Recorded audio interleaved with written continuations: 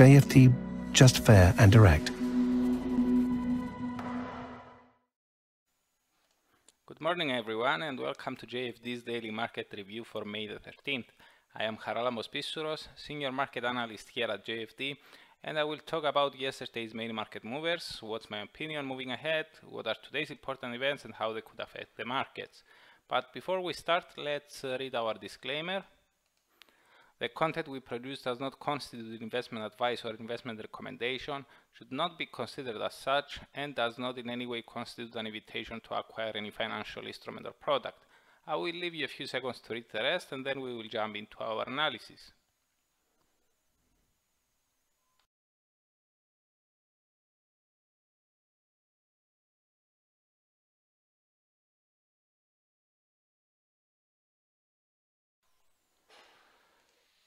The dollar traded lower against the majority of the other G10 currencies. It underperformed the, mo the most versus NOK and SEK in that order, while it lost some ground against uh, the Euro, the Swiss franc, the Japanese yen, and the Aussie. The greenback gained only versus Kiwi and the pound, while it was found virtually unchanged against the Canadian dollar. The performance in the FX world paints a blurry picture with regards to the broader market sentiment and thus we will turn our gaze to the equity world uh, for clearing things up. Here, um, the majority of EU indices closed in positive territory, but everything turned around during the US session.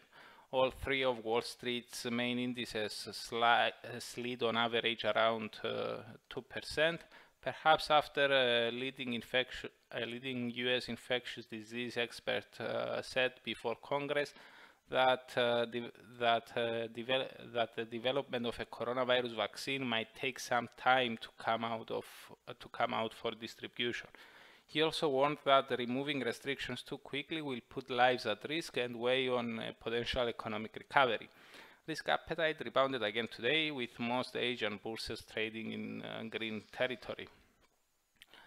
It seems, uh, it seems that investors are confused and they are dealing with a dilemma. On the one hand, they sometimes cheer the prospect of uh, global economies restarting their engines, while on the other hand, they are sometimes fearful over a second wave of exponential virus spreading. As for our view, it still remains the same. As long as governments are careful while easing restrictions, risk sentiment may improve, which means uh, higher equity prices and lower safe havens. Remember that uh, in the past we have been highlighting that uh, the risk to that view is removing the stay-at-home measures too, too early and too quickly, and it appears that the market shares that opinion back to the currencies, the main loser was uh, was the Kiwi, which came under massive uh, selling interest uh, after the RBNZ monetary policy decision. The bank kept interest rates unchanged, but uh, nearly doubled its QE purchases from the current 33 billion Kiwis to 60 billion Kiwis, adding that they could still go higher.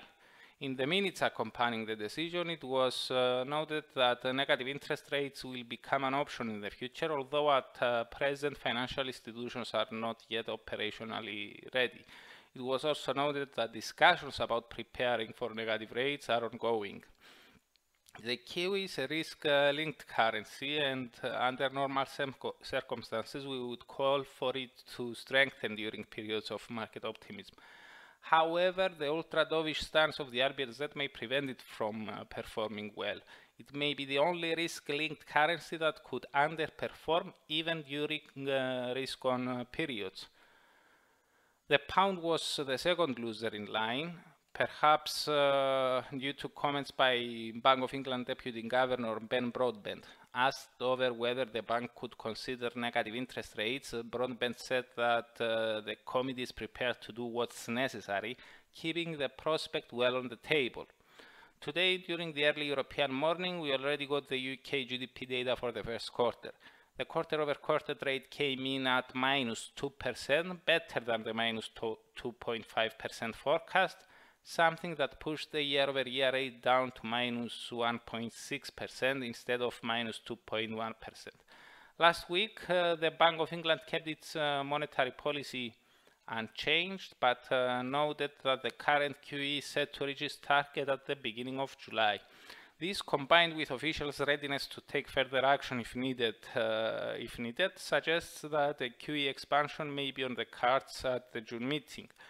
With the bank also projecting a 14% tumble in GDP for the whole year of 2020, and Governor Bailey speaking about a 35% drop in uh, the second quarter's activity, the better than expected uh, print for the first quarter is highly unlikely to alter the bank's plans for further stimulus.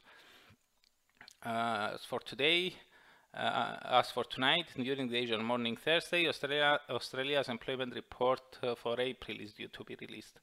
The unemployment rate is expected to have risen to 8.3% from 5.2%, while the net change in employment is anticipated to show that the economy has lost 575,000 jobs after gaining only uh, 5.9 thousands in March. With RBA policymakers scaling back their QE purchases, it would be interesting to see whether a soft employment report would be a reason for them to stop doing so. That said, our own view is that officials are aware that data for March and April may come on the soft side. With the spreading of the coronavirus slowing down and governments around the globe easing uh, their restrictions, we think that the prospect of better days may, may allow them to continue reducing their bond purchases. Now, as for the rest of today's events, from Sweden we have the CPIs for April. Both the CPI and CPIF uh, rates are forecast to have tumbled uh, to 0.1% year over year from 0.6%.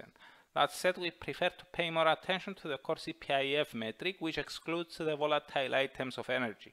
In March, that rate ticked down to 1.5 from 1.6, suggesting that the slide in the headline rates was due to the collapse in energy prices.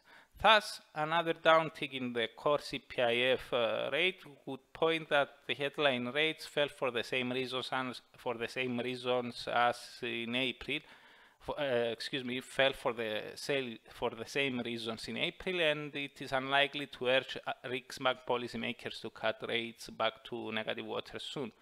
For them to start thinking the possibility of such an action, a notable slide in the core CPIF rate may be needed. Uh, Eurozone's industrial production for March and the US PPIs for April are also coming out. Eurozone's industrial production is expected to have fallen 12% month over month after sliding 0.1% in February, while the headline US PPI rate is expected to have declined uh, to minus 0.4% year over year from plus 0.7%. The core rate is forecast to have slid to 0.9% year over year from 1.4%. As for the speakers, we have two on the agenda, Fed Chair Jerome Powell and ECB Vice President Luis uh, De Guindos. Taking into account the recent chatter around negative rates in the US, we will pay more attention to Powell's speech as we would like to hear his view on, uh, on the matter. So that's it from me. Thank you very much for watching and listening. For those who are interested in learning uh, about uh, the main events of the week uh, much earlier, you can subscribe to the weekly Market Outlook webinar, which I'm holding every Monday at 7 o'clock a.m. GMT time. You can find the link in the description below. So goodbye, have a great day, and I'm looking forward seeing you here again tomorrow.